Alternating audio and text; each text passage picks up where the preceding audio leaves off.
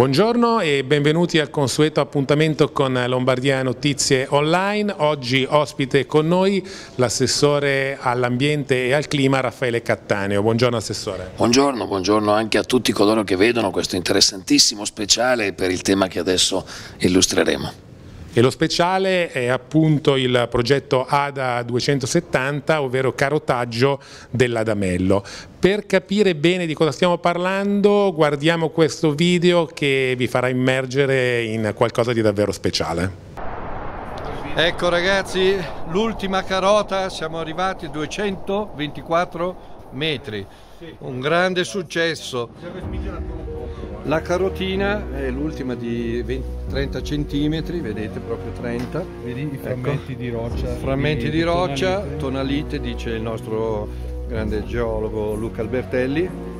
E sono emozionato.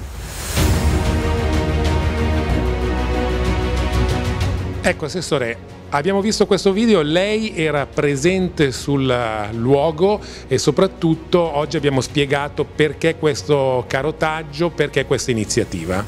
Sì, ho avuto la fortuna l'ultimo giorno del carotaggio di essere lì a vedere eh, direttamente quello che voi avete potuto intravedere grazie al video e credo che queste immagini siano evocative della straordinarietà di quello che è stato fatto. Intanto in un luogo unico, il ghiacciaio dell'Adamello è il più grande, il più profondo ghiacciaio italiano, uno dei più grandi d'Europa. Proprio lì noi abbiamo voluto fare un progetto che la Regione ha sostenuto fin dall'inizio, è una carota di ghiaccio che arrivasse fino al fondo del ghiacciaio, siamo arrivati molto vicini, la carota è arrivata a meno 225 metri, con l'obiettivo di conoscere la storia climatica degli ultimi mille anni.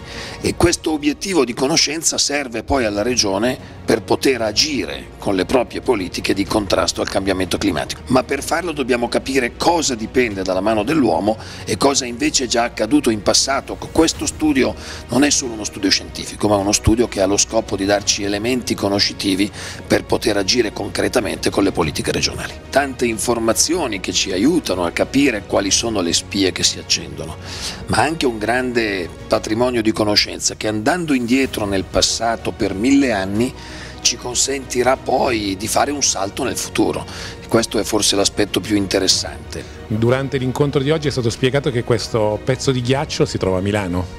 Questo pezzo di ghiaccio si trova a Milano in un laboratorio dell'Università Bicocca e adesso il ghiaccio si sta assestando, poi cominceranno gli studi.